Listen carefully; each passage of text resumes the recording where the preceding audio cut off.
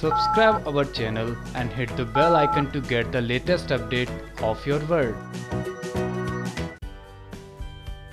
तो चलिए, वक्त हो चला है आपके फेवरेट सीरियल यानी कि ये रिश्ता क्या कहलाता है से जुड़ी लेटेस्ट अपडेट आप तक पहुँचाने का पर इससे पहले बताएँ आपको कि क्या कुछ हुआ बीते एपिसोड में, जहाँ देखने को मिला कि नायरा बहुत ही ज़्यादा मायूस हो जाती है जब उसको पता चलता है कि कायरव के असली पापा और कोई नहीं, बल्कि कार्तिक है। वो फैसला ले लेती है कि वो जो कुछ भी कर रही है, वो सब कुछ गलत है। इसलिए वो गलत को सही करने के लिए कायरव की मुलाकात कार्तिक से करवाने के लिए होटल पहुँचने वाली है। लेकिन होटल में होगा कुछ यूँ की होटल वाली रिसेप्शनिस्ट बताएगी कि कार्तिक यहाँ पर नहीं है, वो तो जा चुका है। जिसके बाद होगा कुछ यूँ की नायरा पछतावे की आग में जलेगी और खुद को कोसने लगेगी। तो वहीं अब शो के अंदर सबसे बड़ा खुलासा ये होने वाला है कि लीजा जिस शख्स से बातें करती है, वो और कोई नहीं, बल्कि मिहिर है।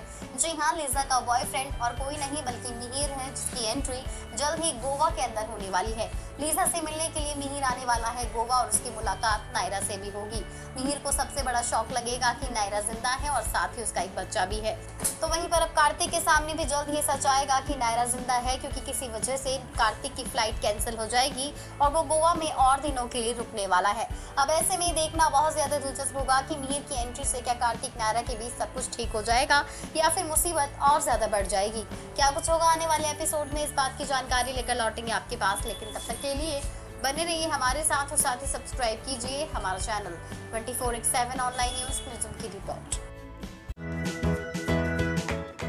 Subscribe our channel and hit the bell icon to get the latest update of your world.